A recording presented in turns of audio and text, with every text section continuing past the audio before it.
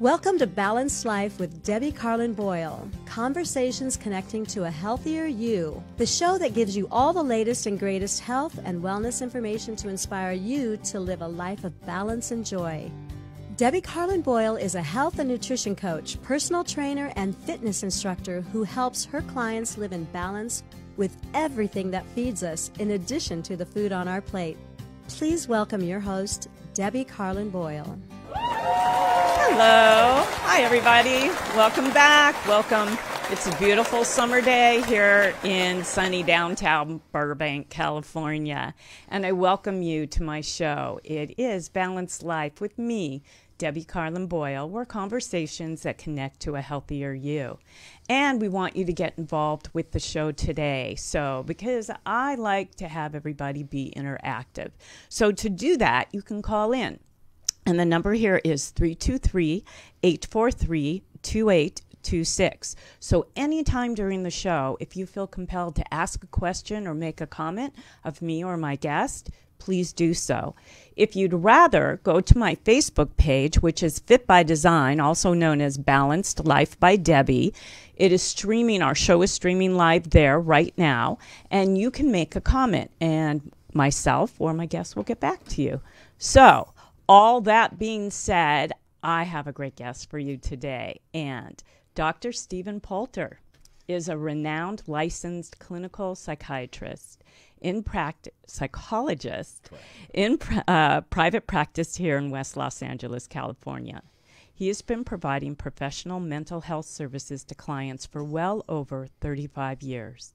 Dr. Poulter is a public speaker on parenting, adolescent and spiritual psychological issues, and he is also the author of seven books, which include Your X Factor, The Mother Factor, Father Your Son, The Father Factor, The Art of Successful Failure, and his latest release, The Shame Factor.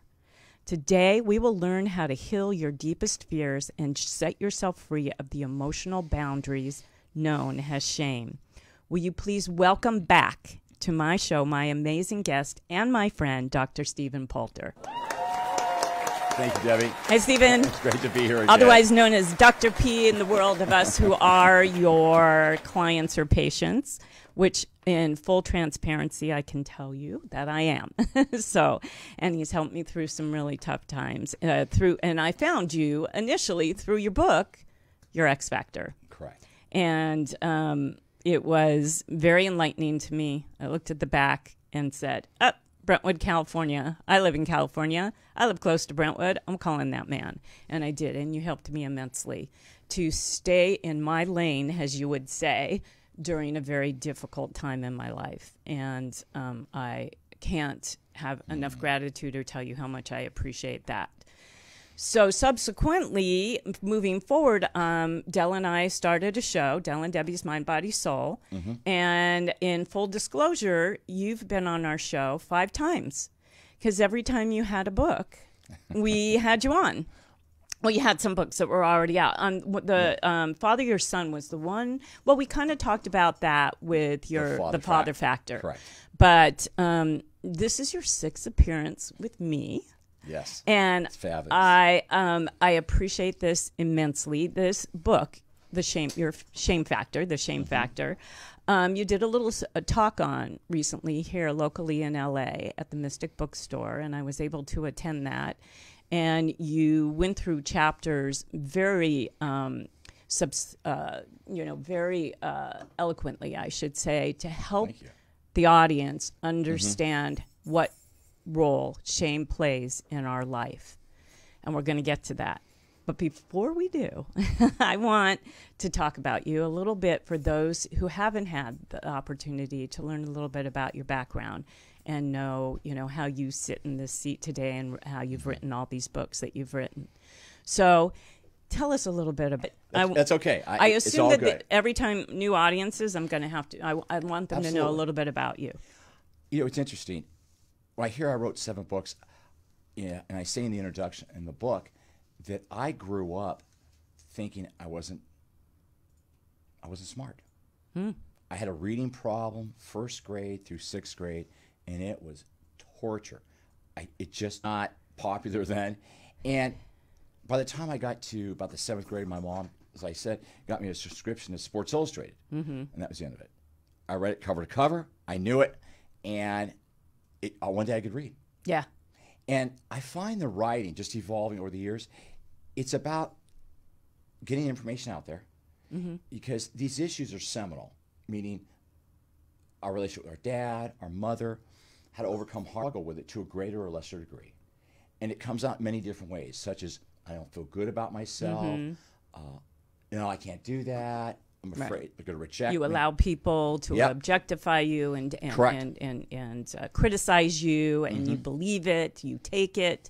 You sit back and observe and don't, you know, which we're going to get into all the Correct. different types, uh, the seven different types of. Were you were a Yes, I police was. officer for a while, and, That was a great education. Yeah. It grew me up. yeah, And I look back on those days. It was difficult. I felt like I was pushing a boat on the sand. I love your analogies. Yeah, They're it was, always the best. it was a long beach to Yeah. get to the water, but it was a, it was a, a very interesting time because a lot of this stuff got planted. I'd see fatherless boys, I'd see domestic violence, I'd see what happens when people, when men don't manage their rage, Mm-hmm. anger becomes toxic, and when women don't, how it becomes toxic to them. All these things are happening between the ages of you can see. So making that imprint on you, did you ever think from, that you would be studying psychology and um, uh, trying to get behind what's going on, trying to get to the to the beginnings of why this is going on, You know- and helping people that way?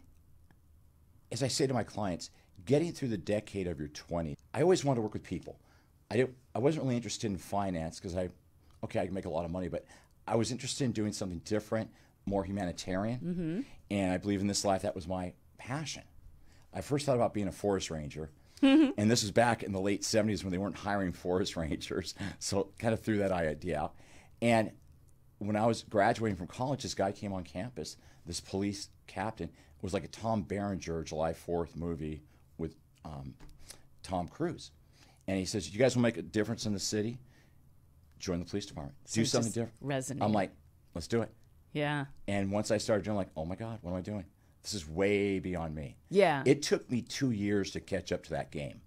Like they talk about, it, it took me two years before I felt like I could catch up to the speed of the job. and feel like that this was uh, but but you always had that feeling that I could do better helping people than getting here after the fact. I would because it's already escalated by the time you're it's there.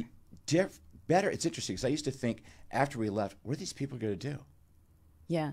Who's going to help them? right. Change. Like, okay, so we clean up the murder scene, they wash it down the street, but who's going to deal with the emotional wreckage? Yeah. That was always a thought. Interesting. I used to think. So after we leave, and the fire department leaves, and the paramedics take the person away, Who really picks up the pieces? The That always intrigued me. If, you uh, can. proactive. yeah. Yeah. proactive, Yeah. in front of the, the wave. Yeah. And so I really, in, I always thought it was interesting. The first day on the job, I think I've told you, it's working swing shift three to eleven, and we get a call nine one one, shots fired, uh, um, husband and wife fight. Turned out to be a boyfriend girlfriend. Her boyfriend came home from work and was in a bad mood again. And this, my partner looked at me and goes, uh, "Welcome to the NFL." And Whoa. I'm like, "Wow, okay." Yeah. And I remember It's your thinking- initiation. yeah, I remember thinking, what is she going to do with this? I, I used to think that all the time. And my um, partners would say, What are you thinking? Like, how is she going to handle it? Yeah. The rest of her life. And they're like, What are you talking about? Like, what do you do with this? How do you come home realizing there was a murder in your living room? Right. But that's That you're responsible for. Right, right. Or you're a part of your story. Okay. Because now it all falls into place why you've written these seven books and what you've seen in your practice and what you know and what you've studied and what you've learned through your because m- most of your books have your patient stories in there, your client stories. And, They're a composite of people. right. The themes are universal. Right. Ex- situations and common themes. And I find shame. People come to therapy and they want to feel better.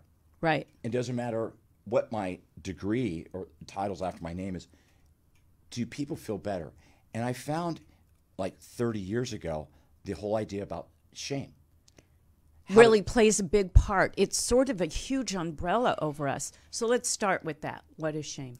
what is shame I always start off with what shame isn't. Okay. It's not guilt. Okay. So what's the difference between guilt and Guilt shame? Guilt is an action. Okay. Like, you know, I I cut off somebody on the road, or I got out of something, or I didn't pay for something. Guilt is always related to an action. right. Shame is a feeling.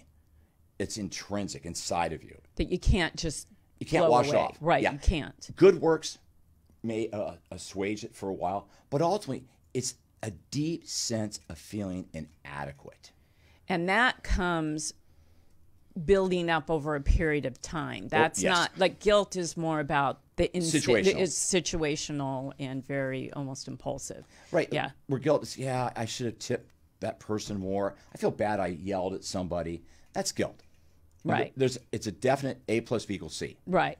Action, boundaries, consequences. Right. In the moment. Right. Where shame is much more insidious, much more ne- it's like up. jello.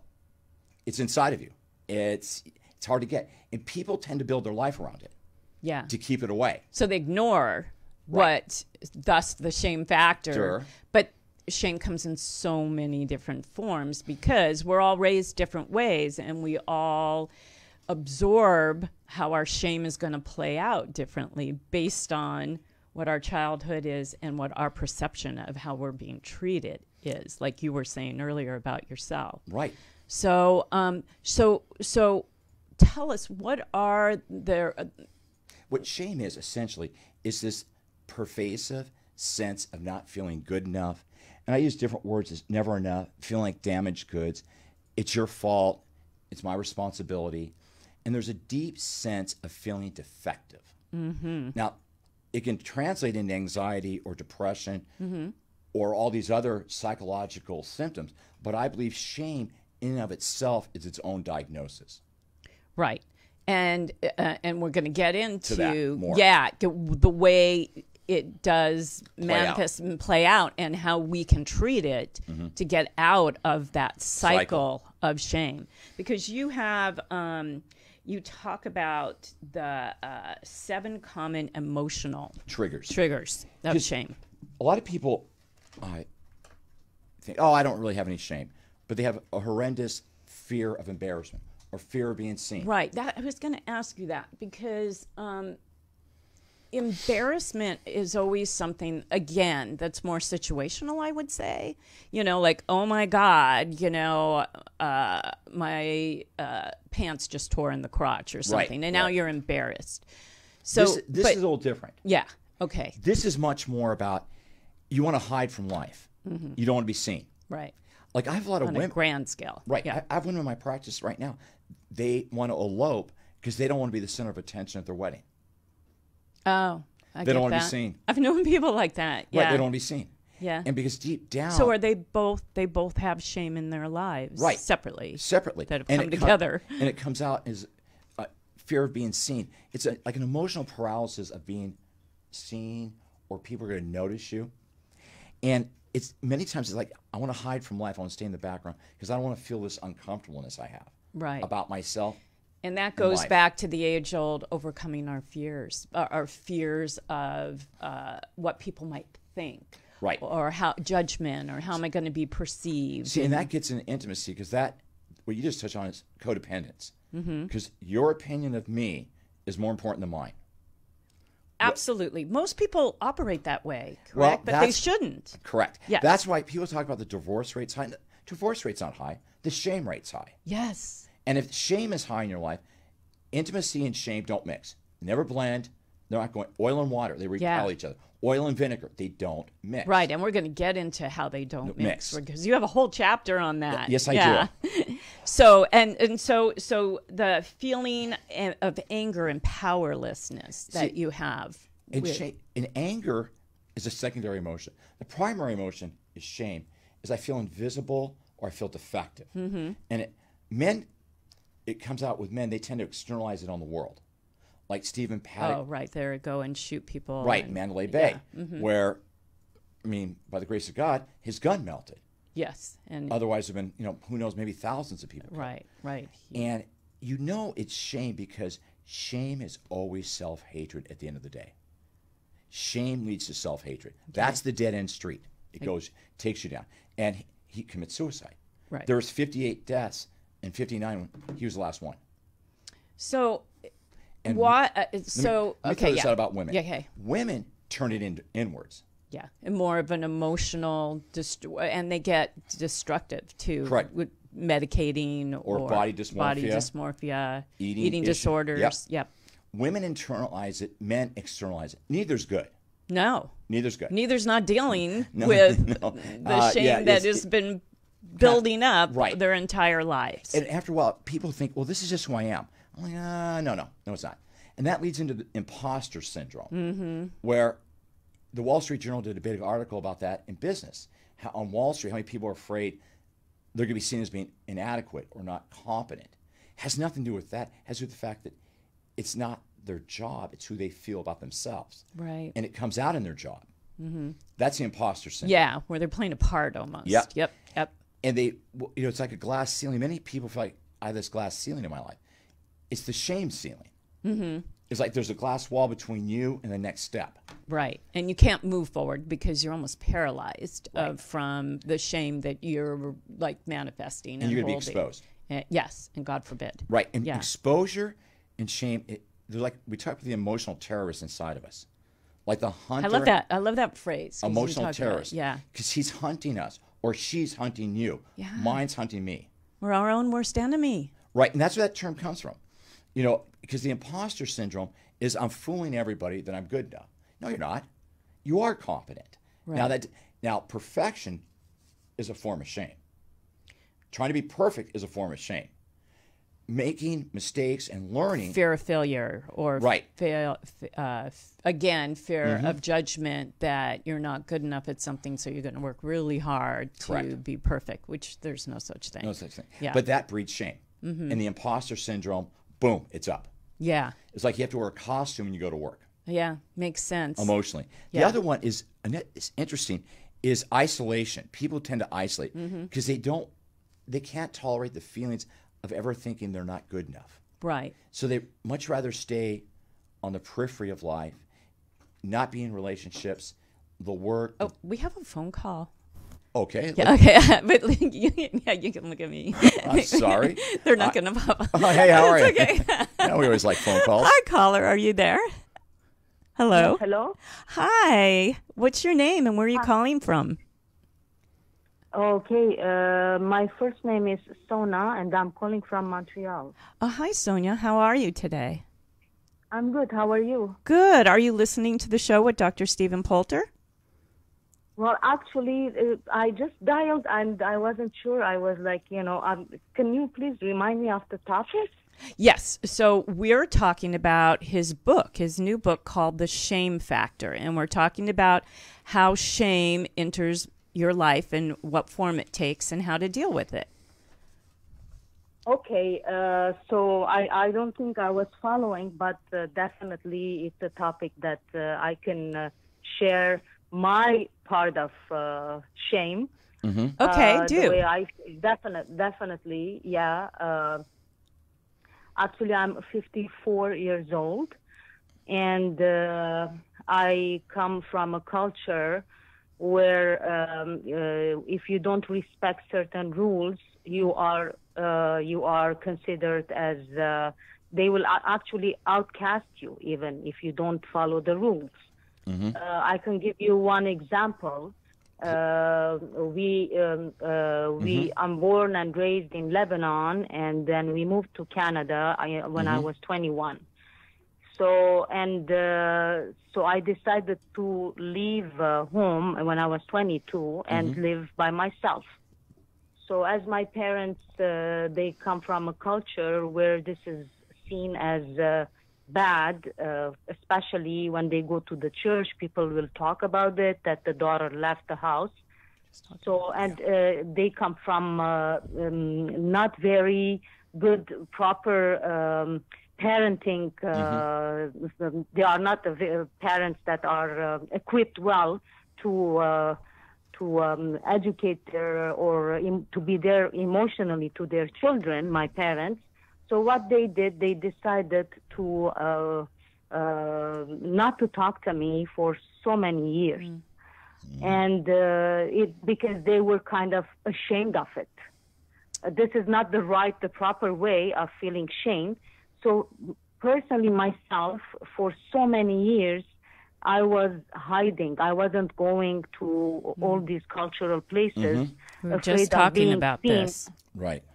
This is you, Yeah, you- afraid of afraid of being seen from uh, by people who contact my parents, and they will uh, finger uh, like you know they will uh, kind of give me dirty looks, and I was ashamed of that. Yes. Wow. and that affected my my entire life and uh, it added to my health and uh, big you know. time. I understand that. So, Dr. Poulter's going to address that right now. Well, it was funny. You said it very well that the shame about feeling culturally that you're there's something wrong with you, even though what you did in many cultures is considered mental health, and that's Yes. where and that's the the tricky part of shame is how do you be your how can you be How your do you own- survive? right, how- your true self Yes. in, in a situation like that and ultimately you have to do what's inside of your heart because you know it takes a lot of courage to do that to leave home and be independent because Yes. if, if you didn't do that you would have probably become very very unhappy you know and all the issues Depressed. right and all the issues that go with that so that's a very courageous move to separate from the family we call that separation and indivi- individuation process and many people never do it you know, they talk about failure to launch, guys that stay home forever, daughters that never leave their mom or their father. It's because of this issue that if you leave the family, you're bad. Right. And that's where shame comes in. Because you're not bad. It's And, part of your natural and, and process. yes and uh, i find that for the word shame for each culture it means something different You know, it's interesting. I think it plays out differently, but I think the the bottom line, the you know, the numerator universal. is universe is different, but underneath, Sonia, the the feeling is common. The fact that you don't feel good enough about yourself and you're doing something wrong, that unfortunately is ve- very universal. Sonia, has it? Oh. Ha, have you been able because you recognize it very well? You were very um, articulate about how what it was and, and identifying shame in your life. How and, and saying that it did take you know an emotional and physical toll on you. How have you dealt with it? I'm curious. What what steps have you taken to know that this is not something that you should absorb this deeply? And what have you done to help yourself? I, I, I could say uh, both fortunately and unfortunately. The fortunately is because some people they will never realize what's happening and they will suffer their entire life. In my in my case, I would say uh, uh, I- the shame was not the only issue. Is again uh, we had the narcissistic parents and the dynamic was very uh, an unhealthy dynamic, and that's one one of the reasons I decided to leave the house. You know. And uh, uh, what I did, I kept myself so busy because I was the scapegoat. So I, I was, I, I had two jobs and uh, went to university at night. So for 10, 15 years, I didn't have time to think about it. At one point, I kind of uh, couldn't take it anymore, and uh, I got literally sick. Then I had time in my hands, uh, like you know, I was at home, I was on sick leave. Then I had time in my hand to think Address about it and realize what Right. was happening really uh, inside of me, and it, that it wasn't my my fault. And uh, I did a lot of work. I could say for 10 years I've been reading books and uh, trying to get all kinds of helps to realize what was happening. That's Yeah, excellent. and, uh, that is excellent. You're helping a lot of people by calling in today because it says Yeah. there Very is relevant. help out there because this is a big uh, this this is a big story that you have that shame Mm-hmm. has followed you this far and that you actually recognized it and got help for it. Any suggestions for Sonia at this point? I think she, Sonia, I think it's great that that you took time. Yes. It, it's interesting that shame always has a way of you can push it down and be as busy as possible, but it never. The hunter is always hunting you, and one day it Yes. catches up, and then you have to, to reconcile with it. And people go, "What's self love? What's self acceptance?" Is exposing the uncomfortableness to yourself about being different, about the separating from your family when they said you can't leave because Mm-hmm. if you leave, you're a traitor Right. or you've abandoned us. Mm-hmm. That once that's exposed to them like you've done, you'll find a lot of relief, and that shame doesn't have power. Shame can never function once it's been exposed. Oh, good. Once you open the closet door, it's it's been dark for a thousand years, and the light's in there. It's as if the light's always been on. wow. And I guess shame and guilt they go hand in hand together. Yeah, they don't help each other. They don't help each No, no, other. they feed And off I each would- other. I would, I, I would just like to make a point how I realized that I had this shame in me, Mm-hmm. and uh, each time I was going to a grocery store, and because I live in the same neighborhood as my siblings and my parents, uh, so uh, each time for so many years, so many Mm-hmm. years. I I I still have that little feeling when I go to the grocery Mm. store uh, that oh someone uh, from my culture will see me.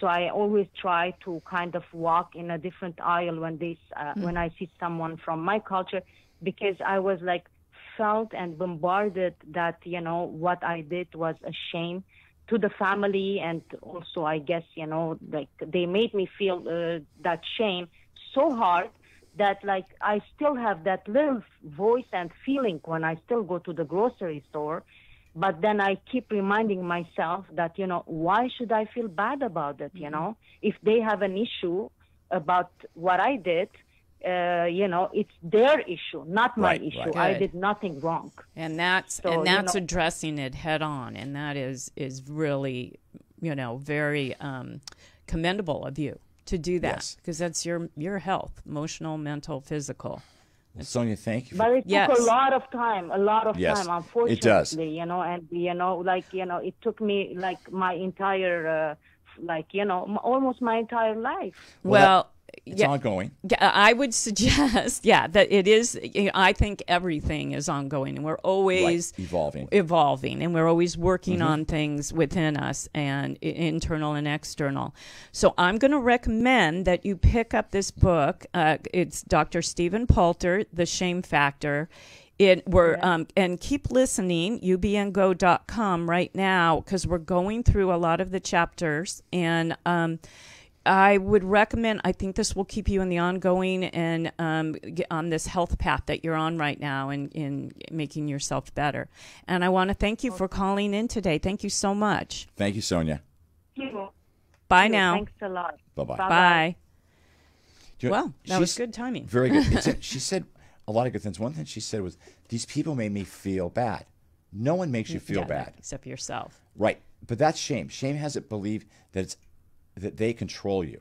Their opinion controls you. Right. And that just comes from how shame reared its head in your childhood. Right, and the belief that goes with it. yes, I mean, exactly. it- it stays with you. you. Right.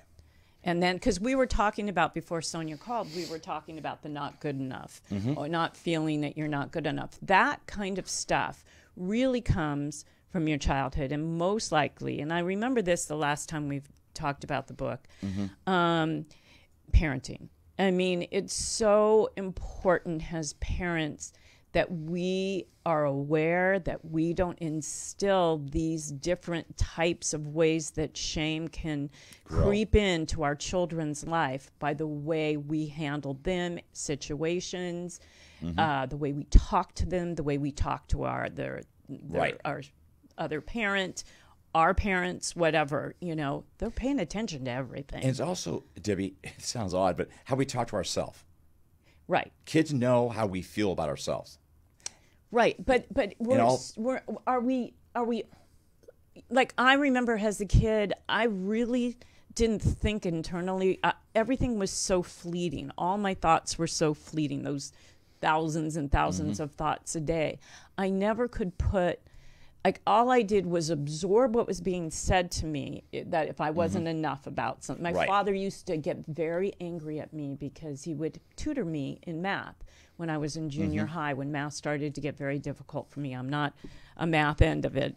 And um, and he was. He was a mathematical ge- genius, so he expected that of me. So right away I wasn't enough. Right. And that I mean, to the point where he was red in the face and ready to punch. You know, and Yeah. he wouldn't punch me, but I could see him.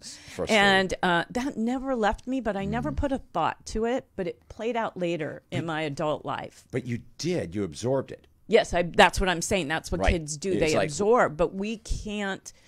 At the time, I guess is what I'm asking. As a child, we're absorbing, but we can't really curtail it. We can't really That's how. An- learn to deal that early, can we? well, So it's Part- more the parents. that- Exactly. But let, let, let's go forward. Okay. Because as adults with small children, the more we deal with our internal dis-ease, Mm-hmm. our kids benefit. Our kids, ben- we know that. Because we fix right. it. We're working on we're ourselves. healing ourselves. Yeah. Mm-hmm. Because the the continuum of parenting goes from your child feels very competent to all the way over here feels very um, defective. Mm-hmm. And how we talk to our kids sets the tempo for that. Absolutely. And that is something, you know, Dr. Spock in his famous book with parenting, that's what he talks about. Mm-hmm. And Dr. Dorothy Briggs and your child's self esteem, that is the premise of her book, which sold like, I think 100 million copies. Right. Your child's self esteem. And she talks about shame in the late 50s, early 60s, when everybody's like, what are you, ta- what? What's Yeah. that? Taboo. Nobody talks Ta- about like- shame back yeah, I then. mean, yeah, Certain antibiotics. things were even- expected. You Yep, just do what you you're just did it. told. You don't have a lot of freedom of speech within the family Exactly. or out of it, Yeah. you know. But we were getting back to uh, the common functions, and then I want to spend a good amount of time because we're going to talk about intimate relationships and Yes. shame and how they play out in, you know, because those things are very important in our lives. Um, starting from the moment we have our first relationship, and we don't want to keep making those same mistakes over and over again. So if we identify where we play, you know, who Right. we are in that in that shame factor. Generally, one of the seven plays out, and we were talking about embarrassment. Mm-hmm. Uh, it could be seen, or um, the second one is the uh, anger. Always, like people talk about, you know, anger management. Really is shame management. The imposter syndrome is uh, plays out in the workplace more, where you feel like a fraud professionally. Mm-hmm. right, right. Coworkers are going to see you. There's a glass ceiling, and there's always this impending doom when someone's upset with you at work. right, right, And Sunday's the worst day of the week for you right, because oh my god, I got to go back to work and they're going to find out. right. This whole this panic of what's this week is going to be like, and Right. then there um, my, my veil will be on, you know, Exactly. off again. And the fourth element I talk about is the fear of isolation. Mm-hmm. And what that is, isolation. You can't tolerate the feelings of feeling inadequate, and the idea of rejection, the myth of rejection. Because I know when I was writing the book, the publisher didn't understand what I meant. I said, "There's no such thing as rejection. We have to buy into it. We have to buy into it when someone doesn't like us You know, I see it all the in time." every stage of Mm-hmm. life rejection rejection rejection i have friends right i have a lot of friends you know we're here in hollywood Mm-hmm. and i have a lot of friends in the movie industry and they're either actors editors directors Mm-hmm. cinematographers and they go out they're perfectly qualified for Mm-hmm. the job that they're you know uh, applying for or the job interview that they're going on and they don't get it over and over and over again to a point where they take it very personally and it puts them into a very dark place. And I know everybody, depending on what their background is, it's going to play out differently. But how do how does how does somebody I know it's not you, but how do how do you overcome rejection and pick yourself up, stand up straight, dust yourself off and really not be the imposter and go forward? the word comes to mind is you, when we lose our perspective. There's the thing about being caught in um, grid traffic, you know, stop and go traffic, versus being at 10,000 feet and looking down at the traffic. Mm-hmm. Two different experiences, same traffic, Right. same traffic jam, the gridlock. And many times when people find that they don't get the job they wanted or they don't get the the promotion they wanted, they get stuck in the gridlock, the emotional gridlock, where you go to 10,000 feet. enough. Yeah, you go to 10,000 feet. It's a hmm. lot bigger than just one street. There's more, it's a hmm. bigger picture. Perspective is how you help deal with that. Okay. And and yes. A wider perspective. Right. It's it's easier to say than do. Let's Correct. be, you know, and I know that's where people in Oh, your abs- profession come in really handy because it is it, it it's so big, it's so Mm-hmm. in your face rejection. Well, you know, And- disappointment people always say rejection. I always go to disappointment. Disappointment Mm-hmm. more dis, is more debilitating because the expectation is I'm good enough, Right. And then it doesn't you're happen. Told you're not. right? Yeah. And then the disappointment Right. can stay for a lifetime if it's not Right. addressed. Right. And you do have to address it. Right. Um, and so that plays out also in feeling like you're not good enough and rejection in intimate relationships and our personal relationships with That's our a big one. significant others. Right. Let's talk about Okay. that. Fear of intimacy. You know, feeling like damaged goods, not good enough, feeling defective, tend to be emotionally guarded, defensive, less than. These are all common feelings. Mm-hmm. And intimate, intimacy and shame don't mix, as I was saying. Mm-hmm. Shame is emotional cancer. And as a 14 year old asked me the other Another day, good phrase, may I say? said, what, what does that mean? Is that shame will eat away at the fabric of the relationship with yourself and your significant other.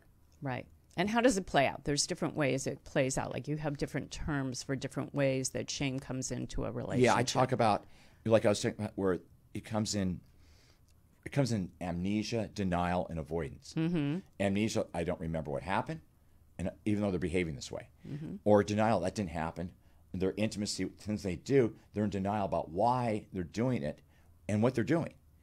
And thirdly, avoidance, never really revealing what they're really feeling.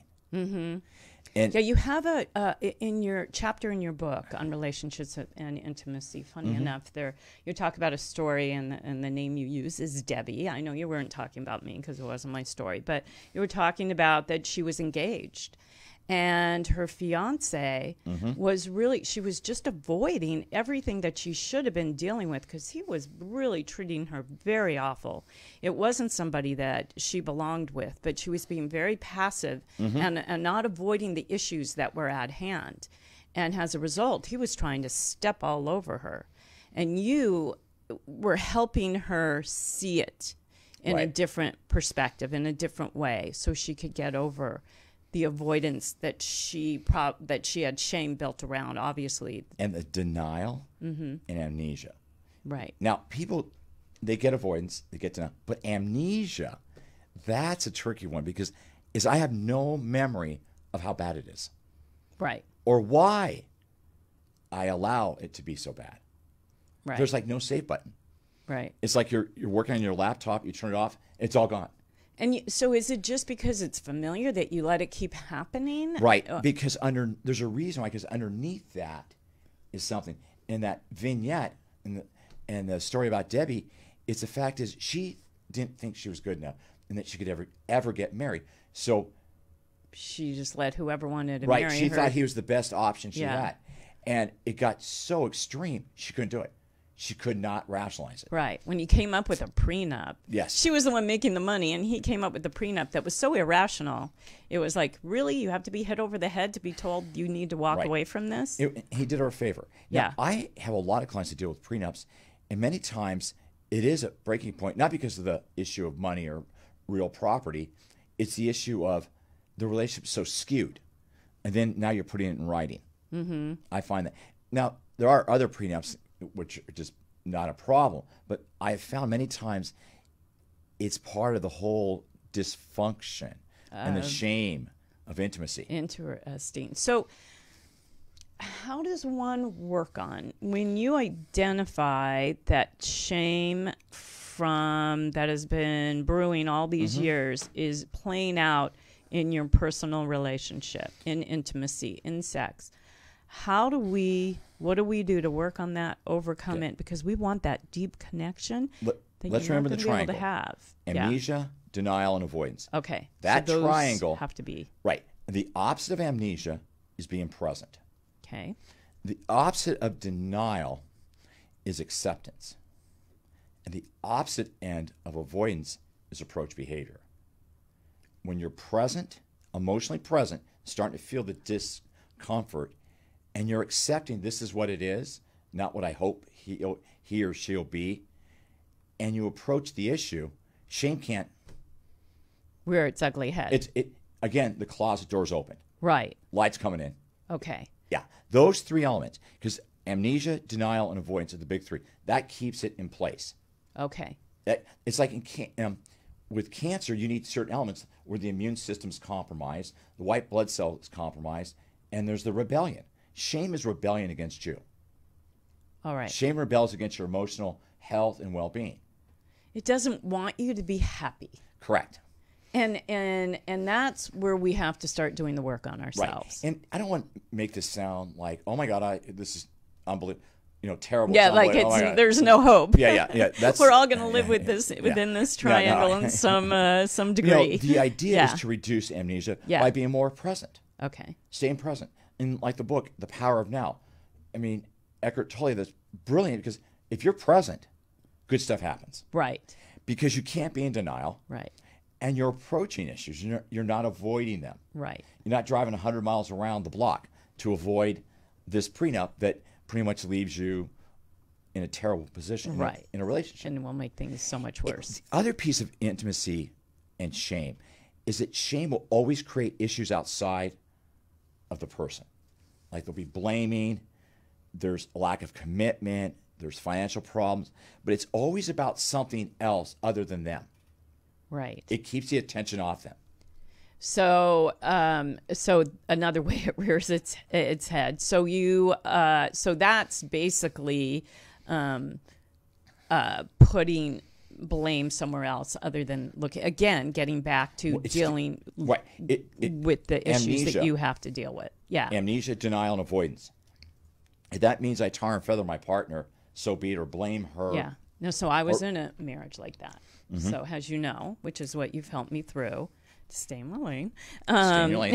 we said being- that. Be on your side of the real estate. Yeah, This is Mm-hmm. your real estate. This is the other real estate. You go over there, you're going right back and you're going to let that, that's going to, uh, that, that's definitely going to tarnish you. It's Right. going to make you sick, you know, Right. by staying in that lane.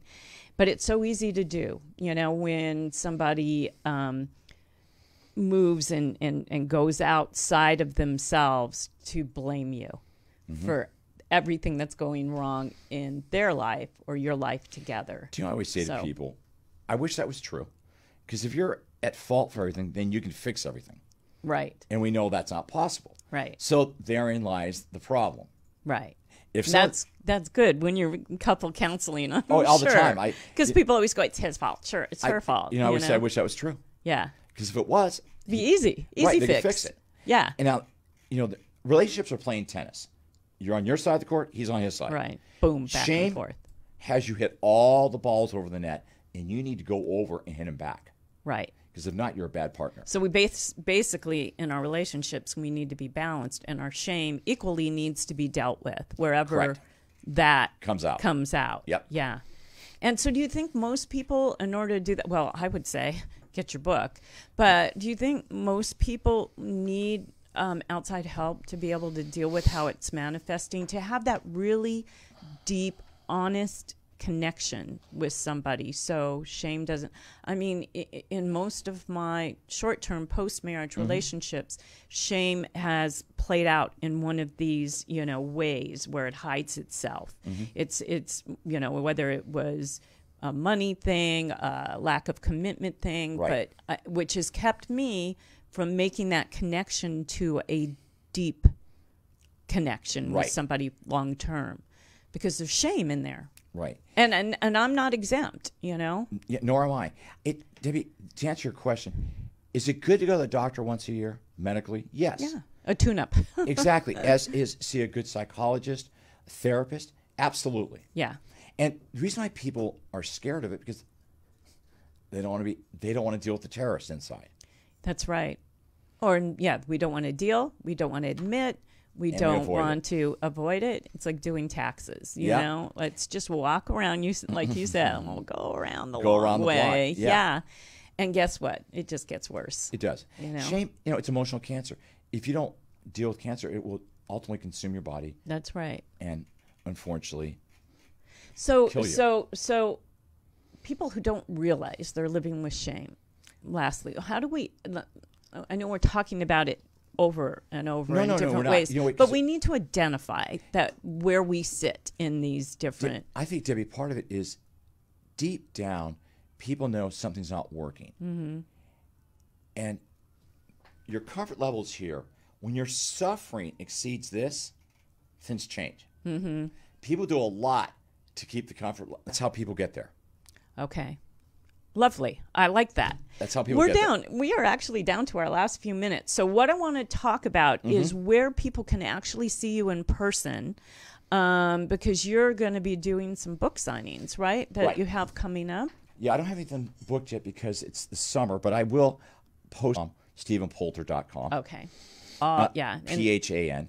And they can find it, or on the Shame Factor, they can just type in my name. It'll take them to my website also. oh, good. Okay. And I'll have stuff there about what, you know, doing stuff in the fall. We'll do some workshops.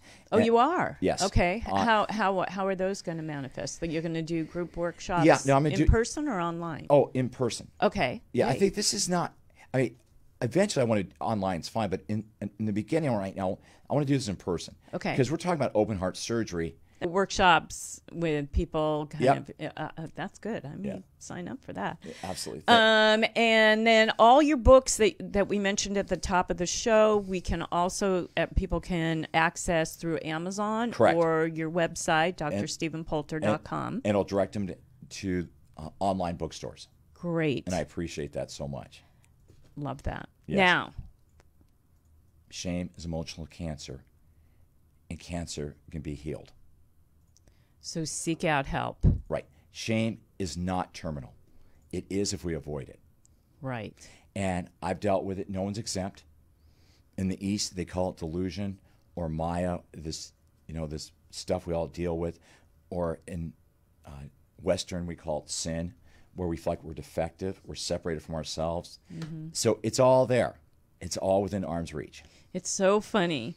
Uh, Um, I mean, it's not funny what you just said, but it's so funny because when you start dissecting how shame plays out in your life, has this, as your book does, and that's why I can't recommend this book enough. It's called The Shame Factor by Dr. Stephan Poulter. It will really, you'll identify yourself, you'll identify others, and it will really help you through life because shame can really take us down. So if you want to come back up, take a look at this book, or if you know somebody who can use the help. And I want to thank you for your sixth appearance on my show. Every time you know you write a book or we come up with a topic at uh, uh, interest, you are coming back Thank you. because you, are my, It's my pleasure. in-house guy. My- so I thank you a- so much. You're the best, and I wish you all the best in your show and what you're doing. You're doing Oh, a great thank job. you. Thank you. We're having fun. And I want to remind you that I'm a show that's the second and fourth Tuesday of every month. I do two shows a month, not every Tuesday now at 2 o'clock. We're a 50 minute format, the second and fourth Tuesday. I'm doing since January. And uh, you can also go to my Facebook page, Fit by Design, Balanced Life by Debi, and my shows live on there too. So they're all great shows that can help you become so much more in touch with what's going on in your life and when it comes to health and wellness. So I'm going to leave you today and say thank you for joining us and remember to keep connecting to a healthier you. Bye, everybody. Thank you, Debi. you. All right.